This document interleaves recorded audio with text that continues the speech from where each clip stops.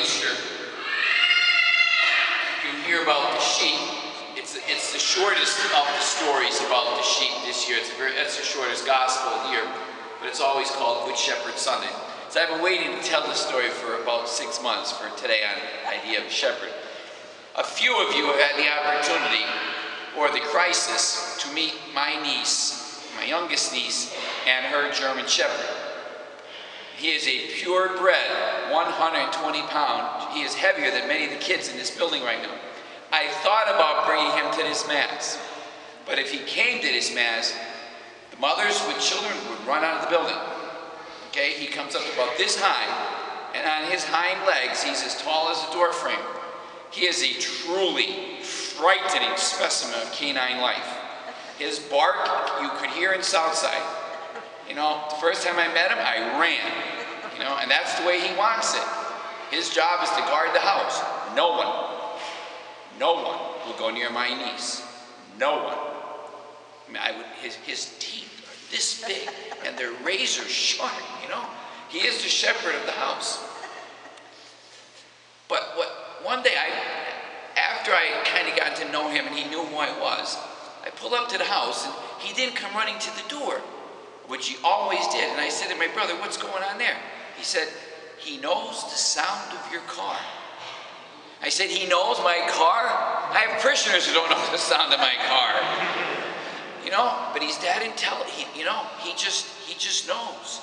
He knows the car. He sniffs my niece's car. He knows when she's home. unbelievable. That's what Jesus is trying to say when he uses the sheep know the voice. There's a connection. There's an intimacy between the good shepherd and the sheep. They know his voice. They won't follow somebody else, they'll follow him. He doesn't have to brand them like they do cattle. They know they're it's it's amazing. There's just a connection. How do you get that? Because that's what has to be true between the bishop and the people. Former bishop of the diocese, that was the theme of his installation 35, 36 years ago. And it has to be the connection between the priest and the parishioners. A shepherd to his people. That, that has to be present. How do you get that? And there's three things you have to have. Truth, time, and trust. Now, this is a true story. About two years ago, they appointed a new pastor up at a church in Mid-Valley. The parish was struggling. I'm the vicar for the northern region of the diocese, and I know the parishes are in trouble. People were, were not being excited about religion, and they sent this guy in. Not a week had passed. People were coming up to me and saying, Who's the new pastor up at such and such a parish? And I kind of laughed because I knew what was going to happen. The guy came out on his first day, told the truth that he had some serious demons, that had, he'd been on and off the job. A very talented guy, but he had demons. And he talked about it his first day. Instant connection. People are flocking.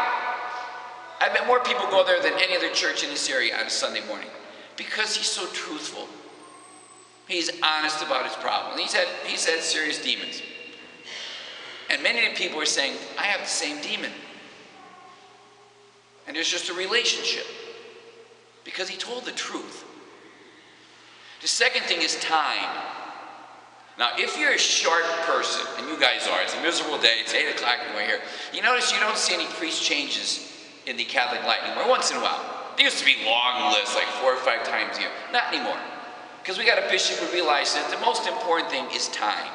Over the course of time, you begin to trust and know the priest, and the priest gets to know and trust you. That, you know, all the books on great Catholic parishes, first requirement, the pastor has to be there at least five to ten years. At least five to ten. It takes that time. It takes that time. That's why Bambera doesn't move priests around. We got a bishop who understands the way it works. Truth, time, and then there's trust. And the first two lead to the third. If he asks for money, it's because he needs it. He watches every penny. If you tell him something, it stays there. That's the relation.